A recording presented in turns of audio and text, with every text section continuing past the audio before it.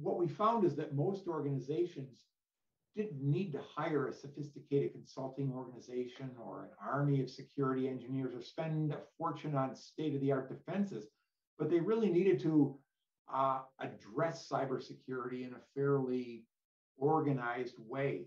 First of all, identifying what you had, uh, protecting what you had, and something that you wouldn't have thought about was detecting when you have a problem with a, a facilities problem like a fire or a tornado or a hurricane. You know when the building burned down.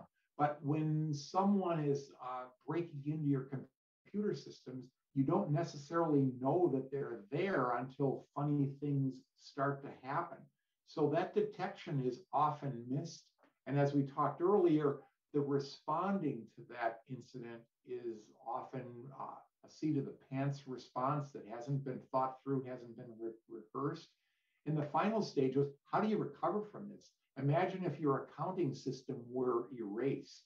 How do you how do you move forward from there? And I think it's worth companies thinking through that.